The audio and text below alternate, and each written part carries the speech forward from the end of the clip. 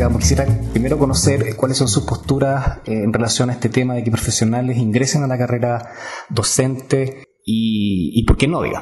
Decana, esto subió el tiempo. A ver, yo quería comentar, eh, soy consejera de Enseña Chile. Enseña Chile es una iniciativa que replica la experiencia que ha tenido el Teach for America y Teach for All, en que se busca a los profesionales de distintas áreas, matemáticas, humanidades, ciencias, para que trabajen un par de años como enseñando las disciplinas en los colegios.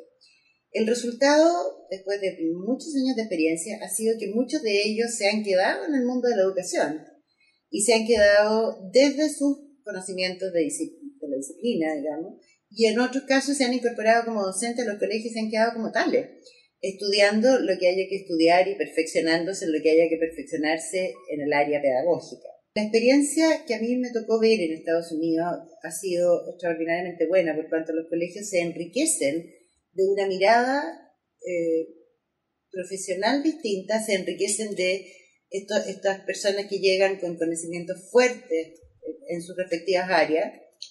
¿Y por qué creo que es tan importante esto? Porque me toca recorrer colegios y veo los enormes esfuerzos que tienen que hacer los colegios para conseguir un profesor de física, por ejemplo. Y ese profesor de física termina haciendo 44 horas frente a curso.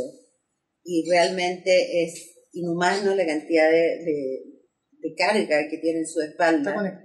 y eso es principalmente porque no hay suficientes profesores de física.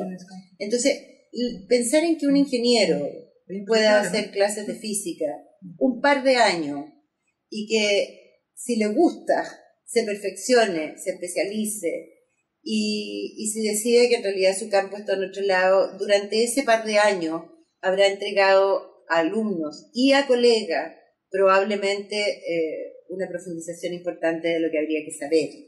A ver, yo creo que hay que distinguir muy fuertemente la ley, que es una ley de sentido general, que abre el mercado, digamos, a todos los profesionales que tengan carreras de ocho semestres, de un proyecto específico, que es un proyecto que tiene una serie de características que lo hace muy particular.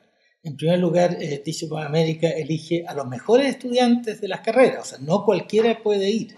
En segundo lugar, les da un embarcamiento pedagógico, hay una preparación anterior y hay un acompañamiento de estos jóvenes. En fin, o sea, entonces eso no tiene nada que ver con lo que está pasando hoy día en Chile, con la, ley que acabamos de aprobar, que abre la profesión docente, ¿no es cierto?, a todo el mundo y al abrirla está haciendo una serie de cosas que son graves. En primer lugar, está desconociendo la existencia de un saber pedagógico, está desconociendo que hay una especificidad de la carrera docente. En segundo lugar, está yendo contra toda la experiencia internacional que a través de los últimos 5 o 6 años ha ido sistematizando cuál es el camino que conduce a un país realmente a eh, tener un cuerpo profesoral de calidad y permanente. Y ese camino va mucho más por el lado de la profesionalización, donde hay que buscar cómo atraigo a los mejores a la profesión docente, cómo los mantengo, cómo los perfecciono, etc. Y ahí estamos hablando de 140.000 profesores, no de 39. Estamos hablando de una cosa que es bastante más compleja. A ver, eh, efectivamente son cosas distintas. Me refería al programa de Enseña Chile como un ejemplo de una buena experiencia, siempre pensando que uno va a estar motivado por las buenas experiencias a imitarlas. Pero encontrándole toda la razón a la preocupación de, de Juan Eduardo. Es muy difícil controlar a nivel de todo el país cómo va a funcionar. Pero yo, fíjate que tengo mucha fe en que las instituciones funcionen, que los directores puedan ejercer eh, el reclutamiento de personal adecuado a sus proyectos educativos. Tengo mucha fe en que si las metas están bien puestas, eh, hacia una gestión que tenga que ser eh, con accountability, o sea, que ese director tenga que rendirle cuenta a su gente acerca de cómo lo está haciendo en su colegio, va a tener, va a tener buen criterio, va a hacer buen juicio de quienes contrata. También yo supongo que la institucionalidad de las direcciones provinciales y posteriormente agencia de calidad y superintendencia van a estar eh, muy, muy rigurosamente cuidadas y por lo tanto yo me imagino que ese va a ser un buen filtro. ¿ah? Estos profesores para ser incluidos en la educación seguramente los colegios, los directores van a tener que entregar un registro, como siempre se entrega, del CEP 12, de quienes están ahí eh, trabajando en los colegios, y, probablemente va a haber una supervisión acerca de cómo están cumpliendo las funciones, con especial eh, mirada en quienes no son profesores, ¿no es verdad? ¿Qué es lo que yo temo? Pensemos, ¿no es cierto? Eh, voy a colocar un ejemplo, que una universidad N acreditada con carreras de ocho semestres me genera de nuevo mil eh, ingenieros en criminalística. Todos ellos pueden enseñar. Y todos ellos van a estar dispuestos no solamente a enseñar, sino que a enseñar por menos dinero en un sistema en el cual tenemos ya un tercio del sistema con fines de lucro. Entonces hay que ser muy ingenuo para pensar que los que van a llegar a la escuela son médicos, ¿no es cierto?, de buen corazón, que en vez de ganar plata en su consulta van a ir a la escuela, o ingenieros, ¿no es cierto?, que van a dedicar un día de su trabajo a la escuela. No va a ser eso lo que va a pasar. Lo que va a pasar es que va a llegar, ¿no es cierto?, los que no han logrado pega en su profesión, que ni siquiera van a ser los mejores de su profesión, porque los mejores de su profesión siempre van a conseguir pega. A ver, te, te comento, encontrando la razón en muchos de los aspectos de Juan Eduardo, eh, pero volviendo al punto inicial. O sea, esto de que van a entrar a la sala de clase los ingenieros en criminalística, por decirte, a mí me parece que es, eh, es una amenaza, por cierto, pero para la cual hay un, hay un director de colegio, un director que es responsable de los resultados de su alumno. Eh, creo mucho en los directores, eso es lo que te quiero decir. Yo fui directora de un colegio de extrema pobreza durante nueve años y yo creo que lo que un director puede hacer adentro de su institución es muy importante.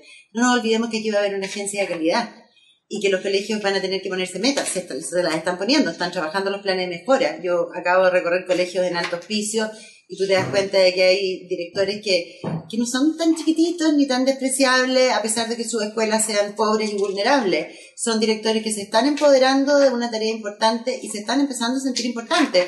Aunque estén parando la olla, como dice Juan Eduardo, son profesionales y están adoptando una actitud profesional. Y yo creo que ese, ese rendir cuentas de sus resultados va a marcar fuerte en que quieran buscar a los mejores.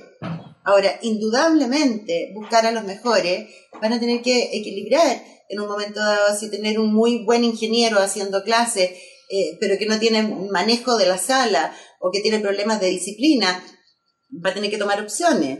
¿ah? Pero yo vi niños que no tienen clases de inglés hace mucho tiempo, en circunstancias de que en la zona hay mucha gente que podría hacerle clases de inglés, pero que no es profesor. Entonces, a esos niños nadie les va a reemplazar las clases de inglés nunca más. Se quedaron sin aprenderlo. Quédate ahí nomás en el fondo, si nosotros, tenemos, si nosotros seguimos teniendo un conjunto de legislación que lo que hace es ningunear a los profesores y seguimos teniendo los sueldos, pagando los sueldos que pagamos, es por supuesto que no van a llegar los mejores. O sea, en el fondo es, es un cuento social en el cual las políticas tienen que ir para ese lado, tienen que ir para eh, decir lo que necesitamos en Chile son mejores profesores, mejores jóvenes entrando a las escuelas de educación y no, oye, abramos el cuento y que cada uno mate su toro y busque al profesional que encuentre para hacer las clases.